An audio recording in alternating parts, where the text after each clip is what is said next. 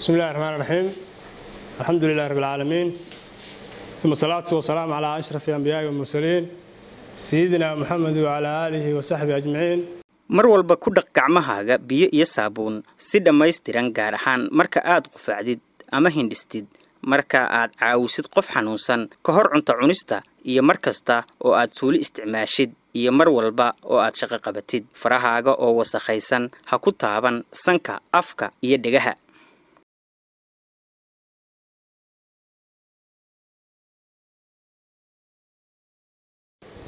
asalaamu calaykum ardayey.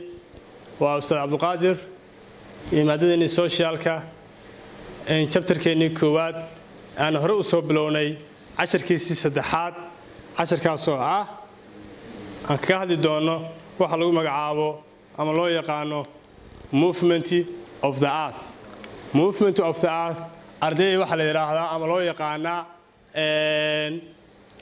dhaqdhaqaaqa dhulka uu sameeyo sidoo kale waxaan kaga hadli doonaa waxa loo yaqaano longitude and latitude dhiga iyo lool. Maxaa la dhahaa? Dhig waa maxay? Loolah waa maxay? Sidoo kale ardayay haddaan sii soconno aan cashirkan gudagallo aan u tagno qaybaha movementiga uu sameeyo dhulku. Siaan la wada soconno ardayey dhulku wuxuu sameeyaa laba movementi two movements. Two movementigaas uu sameeyo waxaa loo yaqaanaa rotation and revolution. Haddaan soo qaadano rotationka rotation wuxuu ku leeyahay is the movement of the earth on its axis is rotation. Waa marka uu ku wareego dhulku udubdhexaadkiisa ayaa wax loo yaqaanaa rotation. Okay resultiga ka dhasha rotationka of the earthka ardayda natiijada ka dhalata wareega dhulka waxaa loo yaqaanaa number one day and night. Habeen iyo maalin ayaa ka dhasha sidoo kale waxaa ka dhasha ardayey dabaylaha iyo waxyaalaha ka dhacaya adduunka ayaa ka dhasha ardayey qodobka saddexaad waxaa ka dhasha ocean currents maayadaha badda ama hirarka badda ayaa ka dhasha. Haddaynu sii gudubno aan u tagno qodobka labaad oo ah revolution. Revolution isagana waxaan ku sheegay waa qaybta labaad ama movementka labaad uu dhulku sameeyo.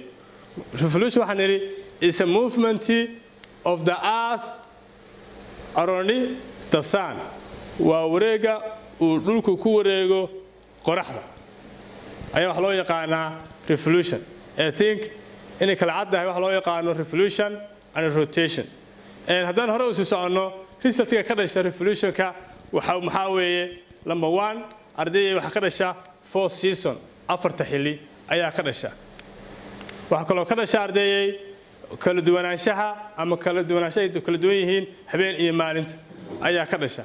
Sidoo kale waxaa ka dhasha ardayey waxa loo yaqaano weather cimilogooreedka maalinlaha ah ayaa ka dhasha.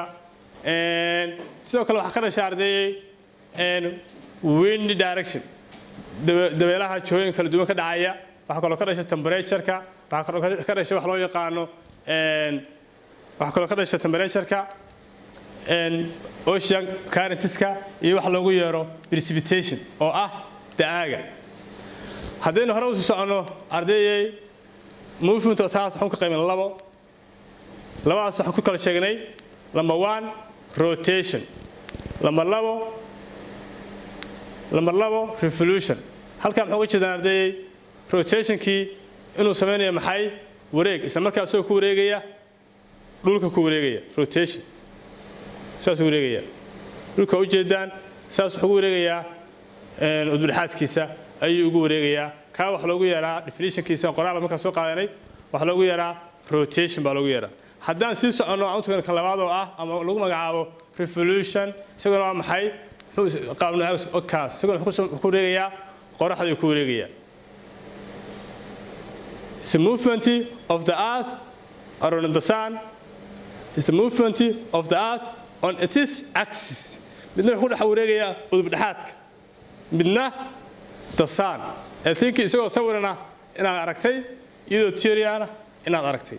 Haddaan hore u sii soconno sawiradaas si fiican u daawo si fiicanna indhaha ugu muuji waayo waxay kaa caawinaysaa inaad xataa haddaad definitionkii aad ilowdo aad hadhow soo xasuusato definitionka inay kala ahaayeen midna uu ku wareego udubdhexaadkiisa midna uu ku wareego qoraxda haddaynu hore u sii soconno ardeeyey movement of the the sun marna waa kan iyadoo sawir kale ah isagoo marna muxuu ku wareegaya qoraxda ku wareegaya another picture isagoona tilmaamaya movement of the earth around the sun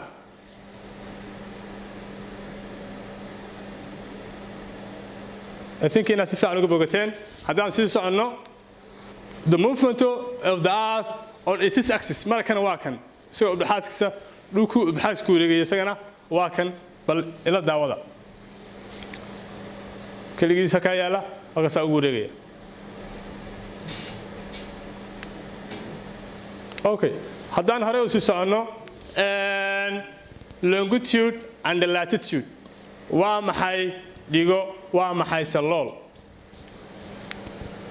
Longitude ardeeyay waxaa lagu magacaabaa is imaginary line waa leeman mala awaal ah kuwaasoo dhaca north aada south. Ama south north ayaa wax loogu yeeraa ama loo yaqaana longitude. Longitude is imaginary line that runs from north to south are called longitude. Okay haddaynu hore u sii soconno faa'iidada uu leeyahay longitude waa maxay? Kow directionska ayuu sheegaa. Direction of place jiho meesha dhacday sidoo kale wuxuu sheegaa timeka ayuu sheegayaa longitude okay haddaynu soo qaadano longitude and time marka ardeeyay saa la socotaan dhulku wuxuu sameeyaa wareeg buu sameeyaa wareegkaasoo ah in one circle. In one circle. Hal wareeg oo saasoo kale ah ayuu sameeyaa hal wareeg oo saasoo kale uu sameeyaa wareeggaa uu sameeyo kabacdi waxay ku qaadataa inuu wareego halkii saddex boqol iyo lixdan digrii. Saddex boqol iyo lixdan digrii ayay ku qaadataa inuu dhulku halkii mar wareego. Saddex boqol iyo lixdankaa digrii uu halkii mar ku qaadato inuu dhulku wareeg sameeyo. Haddana wuxuu ku wareegaa labaatan iyo afar hours ama twenty four hour ayay haddana ku qaadataa haddaynu sii socono therefore it takes four minutes of the earth. Haddii marka afar minute ee dhulka. Ay u dhiganto maxay? One degree. Afar minute. Afar minute. Hadday u dhiganto maxay? Wax loo yaqaano one degree. Isla markaasna halkii hawar wuxuu noqonayaa ardeeyey shan iyo toban degree. Halkii hawarna wuxuu noqonayaa halkii one hour wuxuu noqonayaa fifteen degree. Waxaan filayaa inaad si fiican ila socotaan. Okay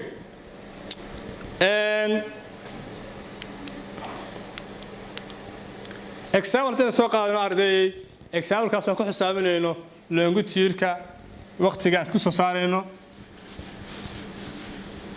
Balaan aragno isagana. Okay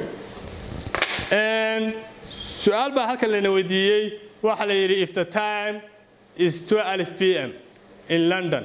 Haddii magaalada london ay tahay labiyo toban b m. Labiyo toban b m. Then intaa ka bacdi what the time it will be muqdisho? Maxay noqonaysaa magaalada muqdisho? Magaalada muqdisho maxay noqonaysaa? Marka maxaa inoo diray ardaeyey inaan soo saarno muqadisho wakhtiga ay noqonayso. Haddaynu soo qaadano muxuu ahaa longitude-ka saa u sorano halkaa waxaa martaa baremilidiyamta ama dhigdhexada dhigdhexada london waxay ka dhacdaa zero degree. Zero degree ayay ka dhacdaa. Haddii ay zero degree dhacdana muqdisho waxay dhacdaa dhigta afartan iyo shan afartan iyo shan degree ayay dhacdaa oo east ayay dhacdaa. Okay marka waxaan leenahay waa maxay farqi u dhexeeya?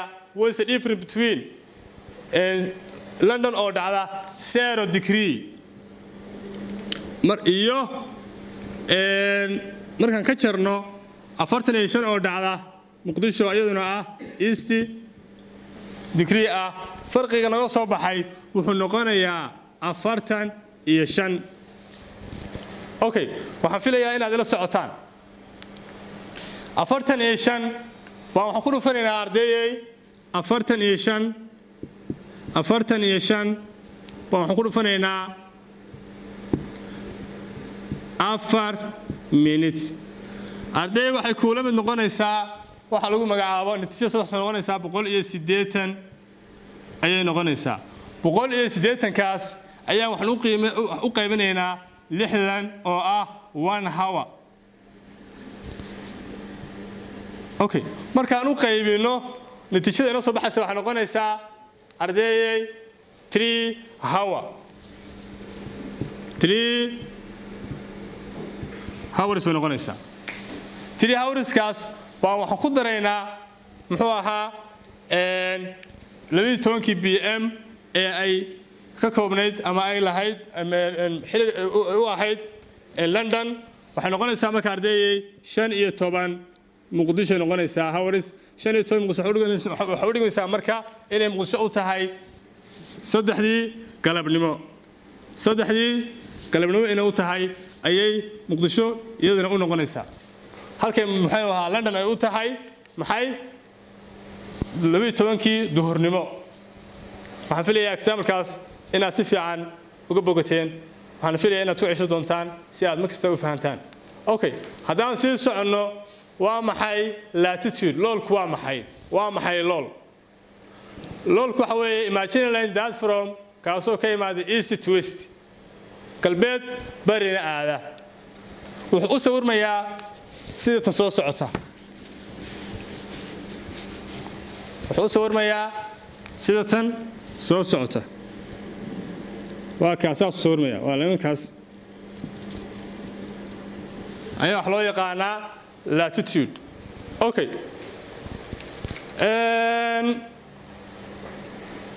waxaan la dhahaa waa lemiska ka taga east west ka taga waxayna aadaan east ayaa waxa loogu yeeraa latitude.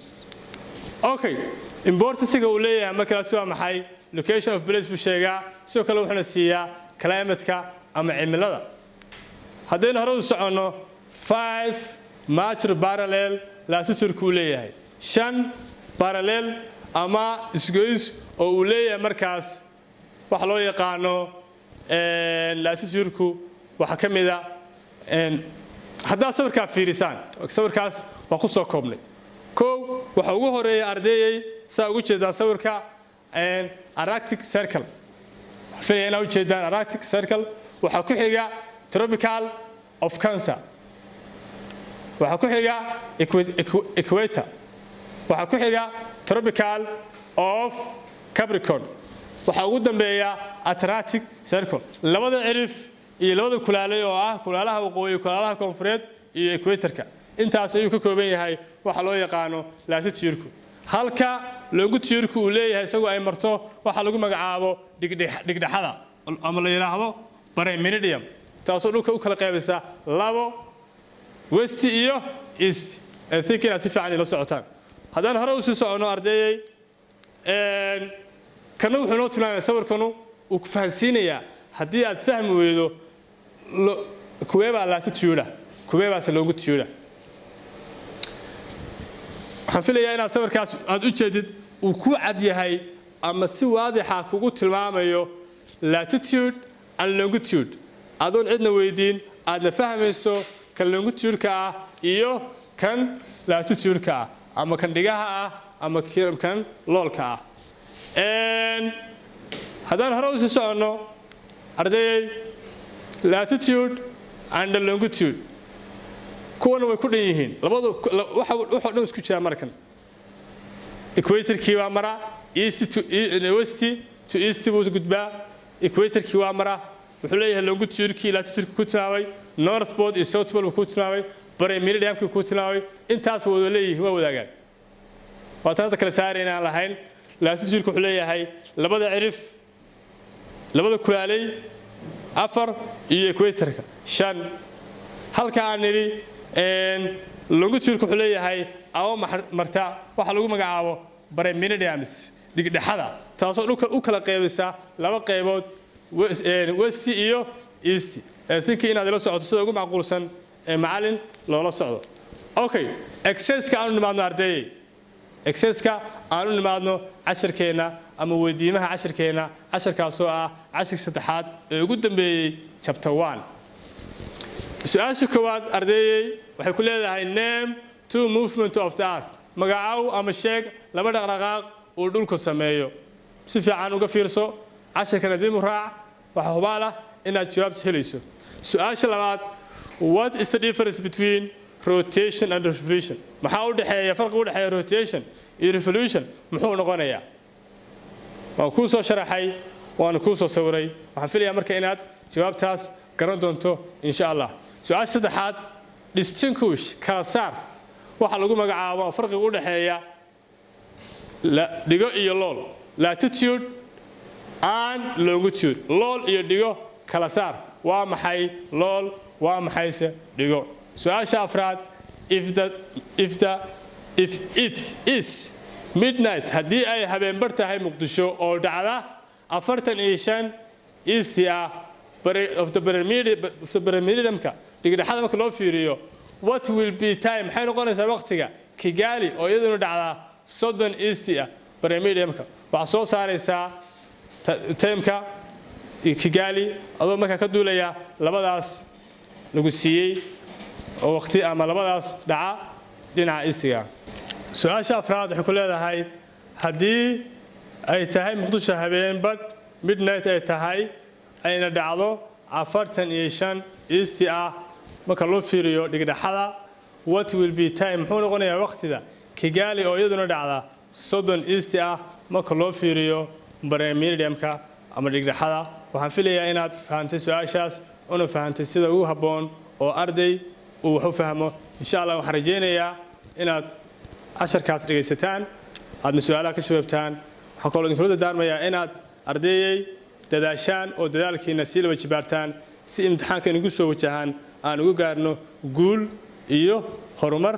Markaasna ka farxinno dhammaan macallimiinteennii waalidkeennii iyo dhammaan bulshooyinta soomaaliyeed. Waayo waxyaalaha maanta lagu dagaalamaya ardeeyey waxa weeye education ayaa lagu horumaray ama waxyaalaha maanta hub ka noqday oo la isku adeegsadaa waa waxbarasho. Dalku hadduu dadkiisu waxbartaan waxa uu gaaraa horumar wanaagsan. Laakiin dadku haddii bulshadiisu ay ka horumaraan iska qaqabsi iyo dadaal xumo iyo waxbarasho la'aan waxay noqonayaan kuwa ugu liita ama ugu hooseeya dadooga caalamka jira. Insha allah waxaan rajeynaya in dadaalkaas aad dadaalaysaan. Asalaamu calaykum waraxmatullaahi wabarakaatu